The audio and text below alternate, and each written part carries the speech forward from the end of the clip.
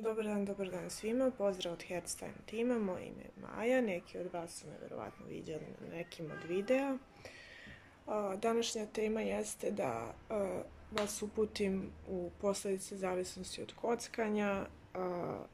Naravno da svi imate predstavu, negde ste već e, nešto i čitali i doživljavate to i objašnjavate sebi posledice kao rasulo porodice, finansijske prirode i tako dalje. Ono što ja hoću da vas informišem ovim putem jeste ono što još nigde ne možete da pročitate i ovaj prosto nešto što, što bih iznela koliko mogu jer je vreme da neko nešto kaže više o tome nego što ovaj ima da se pročita.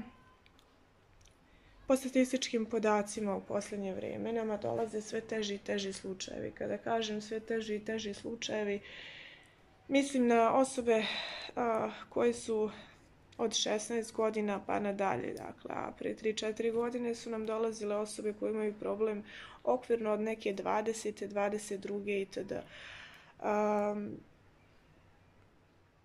zašto kažem da, da, da su to teški slučajevi? Zato što nam dolaze mladi ljudi koji imaju posledice diagnostikovane psihičke probleme i poremećaje zbog situacije ili zbog zavisnosti, direktno zbog kocki.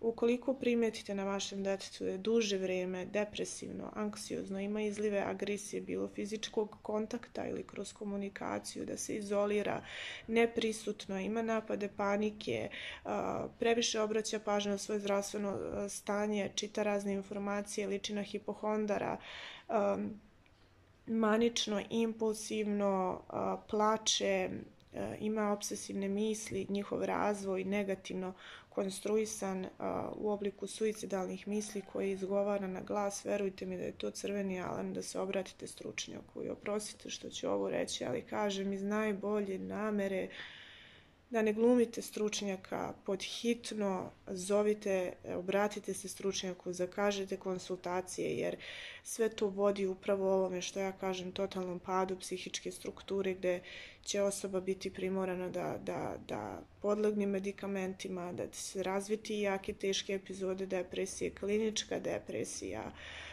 obsesivno-kompulsivni poremećaji koji su naporni i teški za izlečenje, koji dovode do potpune disfunkcije ličnosti. To su nove posledice i verujte mi kad kažem nije bitno šta će sredina reći, kakva ste vi porodica, kakvo je vaše dete, niti vas je ta sredina stvorila, niti vam je u životu nešto pružila, to ste radili sami, tako da odradite ono što, što najbolje znate ono što je vaša uloga kao roditelja da izvedete kako tako to dete na put. Još ako ste majka i otac roditelji više od jednog deteta, onda odlično znate da kad padaju, padaju svi i kad jedno dobije psihički problem ili tegobu dobijaju svi, a vi ste dužni da se spašavate kako znate i umete.